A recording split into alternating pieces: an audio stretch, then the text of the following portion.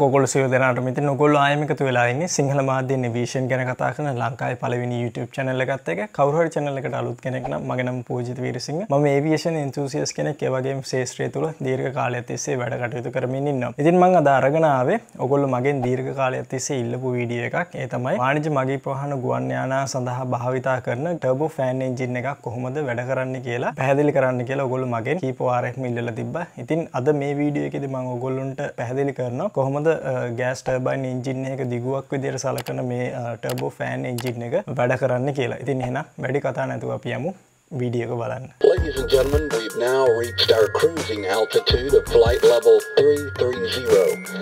I'll go ahead and turn off the seatbelt sign.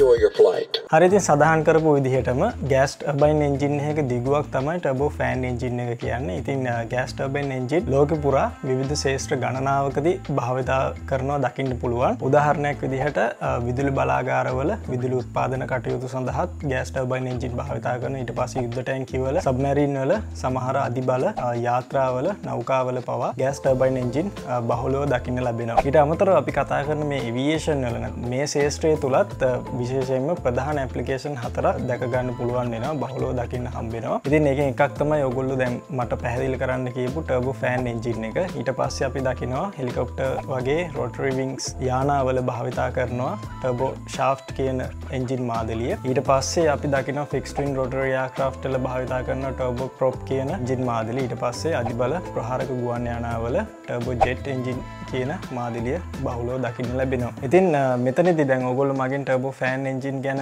ඉල්ලපු නිසා අපි අද මේ වීඩියෝ එකේදී කොහොමද ටබෝ ෆෑන් එන්ජින් එකක් වැඩ කරන්න කියලා හොයල බලනවා. ඉතින් මං මෙතනිද තෝරගත්ත රෝල් රෝයිස් කම්පැනී මගින් නිස්පාදනය කරන T900 නැතන් ට්‍රෙන්් 900 කියන එන්ජින් මාදිලිය. ඉතින් මෙතනිද මං ඔගොලුන් විස්තර කරන්න මේ එන්ජිමේ ඉදිරි ඉඳල පිටු පසට ඉතින් ඔගොලොට මුලින්ම දකින්න හම්බෙනවා ඉතාමත් විශාල ප්‍රමාණය ෆෑන් එක ඉතින් මේ ෆෑන් එක ඔගොලු දකිනවා යම් කිසි හැඩ තලයන් වලට තමයි නිර්මාණය කරලා තියෙන ඉතින් මේ හැඩතල මොනවාද කියලා ගොල්ල මගෙන් හැවුවොත් මේකට උත්තරේ තමයි. ගොල දන්නවා මේක බ්‍රමණය වන ෆෑන් එකක්. ඉතින් මේ මෙතන මේ තියෙන කේන්ද්‍රය නැත්තන් හබ් එකට සාපේක්ෂව බ්ලේඩ්වල අග නැත්තන් තුඩු ඉතාම වේගෙන් කැරගෙනව. නැත්තම් උදාහරණයක් විදිට මෙතන මේ එන්ජිමේ මේ තුඩක වේගය පැට කිලෝමිට එක්දස් සයිසියක් කියලා මේ රෝඩෝයිස් කම්පැනින් තහවුරු කරනවා. ඉතින් මේ වගේ වෙලාවකදී ඔගොලොන්ට මතක මං මගේ පරණ වීඩියෝ එක සඳහන් කරලා තියෙනවා මේ ඇංගලෝ ෆැට එක ගැන ඇත්තන් ෆොයිල්ල එක ඇංගලෝ ෆැට එක වැඩි කරගෙන වැඩි වාත ධාරා ප්‍රමාණයක් ඉහලට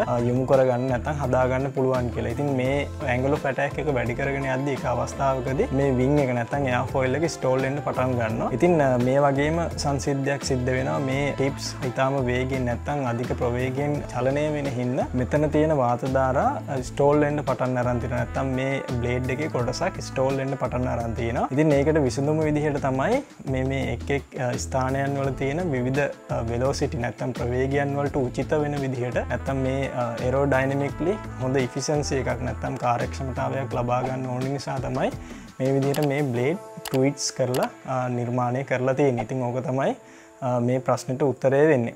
ඊට පස්සේ මෙතන මේ ෆෑන් එක මගින් සිද්ධ වන අනිත් වැදගත් ක්‍රියාවලින් වෙන්නේ මේ ෆෑන් එක හැම තප්පරයකටම පනස් වතාවක් බ්‍රමණය වෙනවා ඊට අමතරව හැම තප්පරයකට ඔන්න එකයි දසමක වායු ස්කන්දයක් මේ ෆෑන් එකෙන් ද්‍රහණය කරගන්න ඇතන් ඉදිරි අවකාශයෙන් ඇදගන්න හැකියාව තියෙනවා. ඊට පස්සේ මේ ෆෑන් බ්ලේඩ්වල ටිප්ස් වල ස්පීඩ් එක ගැන මංගොලන් සඳහන් කර පැඩි කිලෝමිට එක්ද සයිසයක තරම් වේගයකින් මේ බ්‍රමණය වෙනවායි කියලත් සඳහන් කරන ඒවගේම ඔකුල දන්න ලෝක පුරා මේ ඇපලිකේෂන් වයිස් වෙනස් වන දෙයක්. ඉතින් ඉගැන් භාවිතා කරන ගුවන් යානයේ මත high bypass low bypass කියලා එන්ජින් වර්ග කරන්න පුළුවන්. ඉතින් මේන්ජිම හයි බයි පාස් එන්ජින් එකක්. ඉතින් මේකෙදී අපි සීරසීයක් වාදධාරා සංසන්ධනය කරොත් එහෙම සීයට පහලවක් විතර ප්‍රමාණයක් එන්ජින් කෝ එකට තමයි ඇදගන්න. එතනින් ඉතුරු සීයට අසූ පහ බයිපාසයායක විදිහට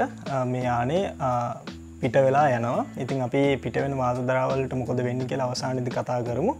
ඉතින් මේ එන්ජින් කෝයක ඇතුළට අවොත් එහෙම අපිට මුලින්ම හම්බෙනවා කම්ප්‍රස ස්ටේජ් එක කම්ප්‍රෙස්ටෙනවා මෙතනදි වෙන්න මේ අවශෝෂණය කරගන්න වාතධාරා සියල්ල ක්‍රමක්‍රමයෙන් සම්පීඩනය කරන්න පටන් ගන්නත්තම් තෙරපවන්න පටන් ගන්න ඉතින් මෙතන දෝකොලන් දකින්න පුළුවන් මේ කැරකබෙන කොටස්වල්ට අමතරව කර කැබැන් ඇති ඒ හා සමානම හැඩතලයන් යුදපු තවත් කොටසක් තියෙන කොටස් කීපයක්.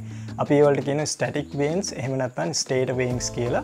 ඉතින් මේ ස්ටේට වේන් සුපකාරි වෙන අරමං කලින් සඳහන් කරා විදිහටම වාතධාරක් ක්‍රමාණුකෝලෝ මේ ස්ටේජ්ජොල්ට ඇතුල් වෙන්න සහ ඒවා නිවැරදි විදිහට සම්පීඩනය කරගන්න. ඉතින් ඊට පස්සේ මේ ස්ටේජ්ජගේ අවසානයට එද්දි නැත්තං උපරීමයට තෙරපීම සිද්ධ වෙලා නැත්තම් සම්පීඩනය වෙලා අවසානද කම්බස්සන් චේබ්බකට එන්ඩ කිට්ටුවද මෙතන මේ වාතධාරාවල උස්නත්වය සෙල්සි සංසක හත්සියක තරම් මගේක පිහිටනවා ඒ වගේම බහිර වායිගෝලයට සාපේක්ෂව මෙතන මේ වාතධාරාවල පීඩනය හතලිස් ගුණයක තරම් අගේක පිහිටනොයි කියලත් සඳහන්න්නේ නවා. ඊට පස්සේ ඊළඟ ස්ටේජ් එක තමයි කම්බස්සන් චේම්බ එක මේ කම්බස්සන් චේම්බ එක තුළදි තමයි එවිේෂන් ෆියල් නැත්තන් ජෙට් ෆියල් එක්ක මේ ආපු වාතධාර මික්ස්්‍ර වෙලා දහනයට පත්වෙනවා ඉති නොගොලු දන්නවා ගණද්‍රව වායු කියන පදාර්ථය අවස්ථා උස්නත්තේ හමුවේ ප්‍රසාරණයට ලක්වෙනවා කියලා. ඉතින් මෙතනදී මේ වාතධාර මේ උස්නත්තේ හමුවේ නැත්තන් සෙල්සිස් සංසක දෙදාහක තරම් උස්නත්තයක් තියෙන මේ චේම්බ එක තුළදී දානයට පත්වෙනවා ඉතින් මේ සෙල්සිස් සංසක දෙදහ කියන සූරයාගේ මතුපිට උස්නත් අඩකට සමානයි කියලා සලකන්න පුළුවන්.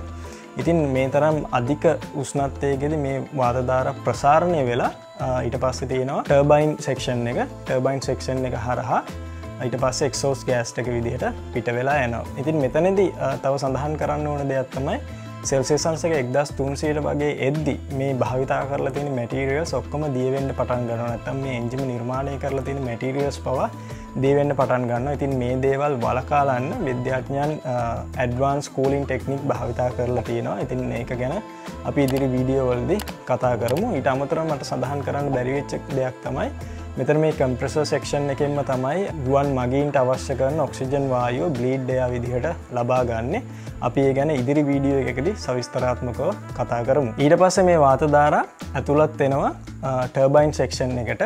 මේ ටර්බයින් එක කියන්න හරියට සුලන් ආධාරයෙන් කැරක වෙන සුලන් මෝලක් වගේ. ඉතින් මේ අධික ප්‍රසාරණතාවයකට ලක් වෙලා හරිනිකම් බෝම්බයක් පිපුරුණ හා සමානව අධික ප්‍රවේගයකින් එන වාතධාර ටර්බයින් හරහා ටර්බයින් පාස් කරගෙන තමයි එලියට යන්න. ඉතින් මේ වෙලාදි මේවා බ්‍රමණය වෙන්න පටන් ගන්නවා. ඉතින් මේ මෙතනද මේ මේ ශෙක්ෂන් එකේද මේ ටර්බයින්ස් විනාඩියකද වාර දොළොස් දාහ පමණ ප්‍රමාණයක් කැරක වෙනවායි කියල සඳහන්න්න ඒ වගේ මේ එක බ්ලේඩ්ඩයකින් ජෙනරේට් කන ට්‍රස්ට එක ෆොමියලවන් කායකින් ජෙනරේට් කන ට්‍රස්ට එක හා සමානයි කියලා සඳහන් වෙනවා. වගේ මෙතනින් සඳහන් කරන්න වූ අනිත් වැදගත්දේ තමයි එන්ජිමේ සමස්ත ක්‍රියාවලට අවශ්‍ය කරන නැත්තන් ශක්තිය නැත්තන් එනජිය එක ලබල දෙන්නෙත් මේ කොටසෙන්මයි ටර්බයින් හරහා. මොකද මේකට තමයි සම්බන්ධලා තින් තියන්න මේන් ශාෆ් එක මේන් ශාෆ් එකට තමයි සම්බන්ධ වෙලා තියන්නේ. අපි මුලින්ම කතාකරු ෆෑන් එක.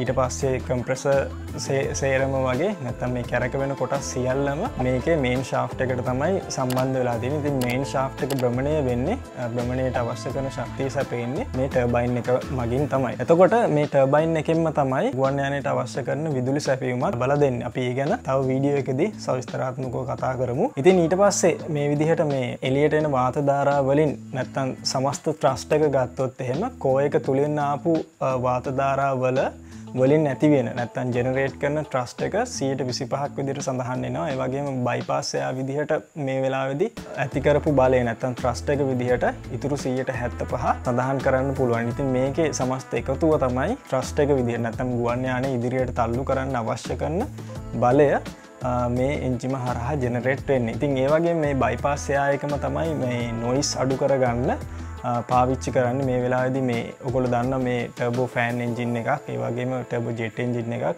ඉතාම කැන ලොකු සද්‍යයක් ජෙනරේට් කරන එන්ජින්ස් ඉතින් මේකෙදි මේ නොයිස් එක ගොඩක් දුරට අඩු කරගන්න පාවිච්චි කරන තව මෙතඩ්ඩ ගත්තමයි මේ විදිර මේ බයිපාස්සයායකින් මේ කෝයකින් එන එයායක කව කරන එක. ඉතින් ඒකින් යම්තාක් දුරකට නොයිස් එක කන්ට්‍රෝල් කරගන්න හැකියාව තියෙනවා. වගේම තව සඳහන් කරන්න ඕන දෙයක් තමයි සමස්ත එන්ජින් එක තනිතනි කම්පෝනන්ස් නැත්තං ඉන්ඩිවිජුවල් කම්පෝනන්ස් විසිදාහකින් විතර තමයි නිස්පාදනය කරලා තින් නැත්තං නිර්මාණය කරලා තියෙන්නේ. ඊට අමතරව මේ සමස්ත එන්ජින් එක ආයුකාලය විදිහට අපි සැලකුවත් එහෙම මේක සාමාන්‍යයෙන් කිලෝමීටර් මිලියන අසුවක් විතර ආයුකාලයක් තියෙන නැත්තං ගුවන් යන ශේෂත්‍රට ඇතුළත්තුනයින් පස්සේ මේ එන්ජිම් එක කිලෝමීටර් මිලියන අසුවක් පමණ ක්‍රියා කරන නැත්තම් වැඩ කරනවා කියලා මේ රෝල් රෝයිස් කම්පැනිය මගින් තහවුරු කරනවා ඉතින් ඕක තමයි සාරංශයක් විදිහට ටබෝ ෆෑන් එන්ජින් එකක් ක්‍රියා කරන විදිහ. ඉතින් මේ සම්බන්ධ ගොලොන්ට ගැටලු තියෙනවනම් පල්ලහ කමෙන්ට් එකක් සඳහන් කරන්න කියලා මං ආරාධනා කරන ඒවගේ මේ වීඩියකට කැමතිනම් දෙන ලොක තම්සප් එකක්. ඒවගේ මේ වියෂනල්ට ඉන්ට්‍රස්ටෙන් තව යාලු ඉන්නවන මේ වීඩියක ඒගොල්ලොත් එක ෂා කරගන්නත් කියලා මං ආරාධනා කරනවා.